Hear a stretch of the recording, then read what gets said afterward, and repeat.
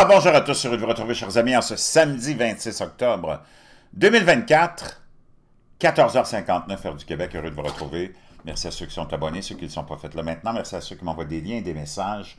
Toujours pertinent, intelligent et très apprécié. Merci à ceux qui vont commenter la vidéo, la partager et écraser le petit pouce en l'air pendant ce temps-là. Beaucoup, beaucoup de choses, mais le plus, le plus révélateur et aussi le plus inquiétant, c'est l'attaque. Puis finalement, Israël aurait décidé euh, d'exécuter en représailles, des représailles, des représailles, en représailles, des représailles. De l'Iran, ça s'est fait euh, hier, vendredi. Très inquiétant, très, très, très inquiétant. La réponse de l'Iran à l'attaque, maintenant, elle est attendue. Donc, c'est euh, complètement hallucinant. Ce qui se passe, on a perdu le contrôle.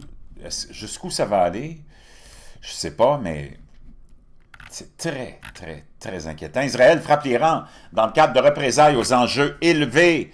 Des dizaines et des dizaines d'avions israéliens ont participé aux frappes contre l'Iran ben, d'aujourd'hui, dans le fond, dans pour nous, c'est aujourd'hui, des dizaines d'avions de l'armée de l'air israélienne, dont des avions de chasse, des ravitailleurs et des avions espions participé aux frappes contre l'Iran tôt samedi.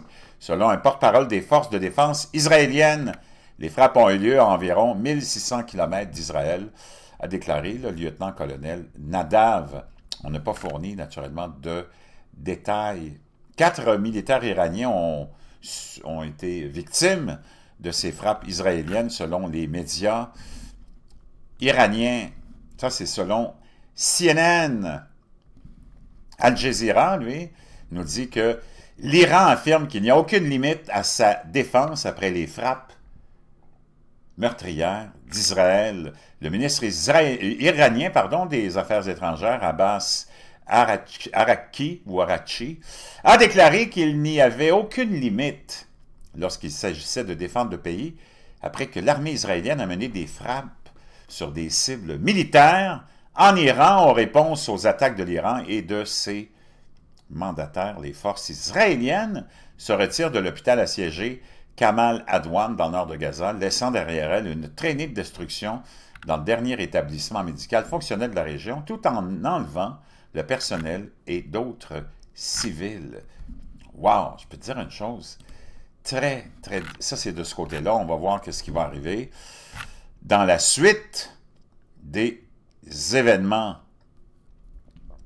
pendant ce temps-là, une autre très puissante éruption solaire majeure de longue durée, d'une magnitude de X, de 1, X 1,8, qui a éclaté dans la fameuse même région 3872, une éruption solaire majeure et de longue durée mesurant X1,8 ou de catégorie X1,8 dans la région active de 3872 a eu lieu dans les dernières heures.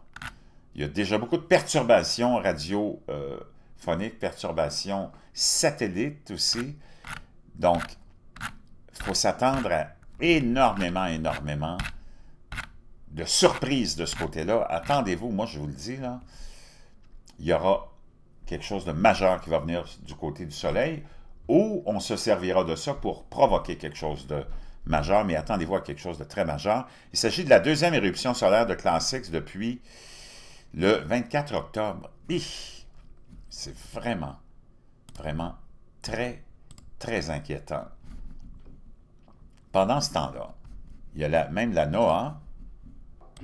Donc, la NOAA nous, nous émet des, des avis aussi beaucoup d'avis, d'avis euh, autant orange que jaune, concernant plusieurs volcans aux États-Unis. On sait qu'il y a plusieurs volcans aux États-Unis qui sont actifs. Je peux dire une chose, on n'est pas sorti de l'auberge. Il y a des événements cataclysmiques qui nous attendent.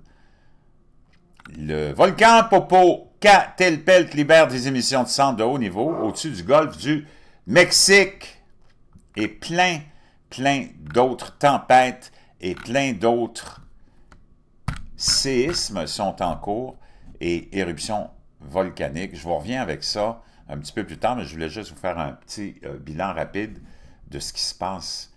Et c'est pas une sinécure.